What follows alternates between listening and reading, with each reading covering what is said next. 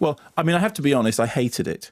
Um, it's directed by David Koepp, who is probably better known as a writer and you know is an occasional director, and um, based on a series of novels by uh, Kirill or Cyril um. Um, this particularly on "Don't Point That Thing at Me," which was a line which Gwyneth Paltrow delivered in the clip that was at the beginning of that interview. And I'm, a, as you know, a huge Paul Bettany fan. I was one of the people who absolutely loved Transcendence. Um, it's true there are not many jokes in Transcendence, though I think there are some, and I still absolutely love that film.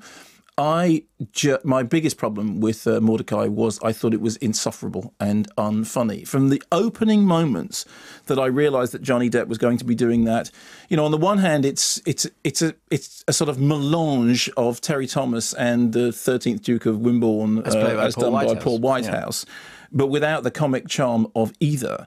And it is a comic performance. So the story is, I mean, you, you kind of covered this in the interview, but the story is basically he's a sort of rogue art trader, and a Goya has gone missing, and he is uh, called upon by the police in the person of Ewan McGregor, who is in love with his wife, uh, Gwyneth Paltrow, Mortdecai's wife, not. Uh, doesn't matter. Wife. Doesn't matter. Doesn't. You're right. Actually, Whatever. you know what? Whatevs. Yeah, doesn't exactly. matter. And uh, so they go from uh, London to uh, Rome and all the rest of it. And what was that? Was that a whatever sign? It was a W. Okay, fine. I wasn't sure what that meant. Keep it short, or what that no, meant you're webcam. bombing the news, or I didn't know what exactly what that meant. So fine. Um, and as soon as he started doing that voice, I thought, is he going to do that all the way through the film? And then you realise about thirty seconds in that he is yes, going to do that all the way yes. through the film. And then you and then you start seeing his physical performance, and it is a physical performance. And a, you know, I always had a problem with Captain Jack Sparrow. Was it always looked to me like Johnny Depp was being directed by somebody who wasn't a strong enough director to say no, just rein that in for heaven's sake.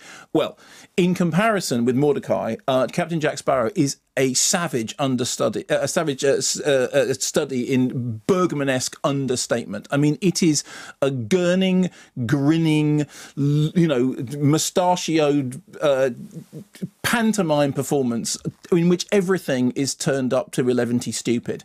And it starts to become irritating about 30 seconds into the film. And the problem with it is that, for a start, I mean, it, does, it doesn't have a... Um, any comic touch in its direction. The, the direction is sort of, shoo, shoo, you know, very sort of bang, bang, bang, bang in your face rather than having any lightness. It's interesting because uh, there's, there's a Marx Brothers season on at the moment with the that the South Bank are doing, and you know you watch a Marx Brothers film in the same week as you watch Mortdecai, and you go, okay, fun. So on the one hand, funny. On the other hand, not funny.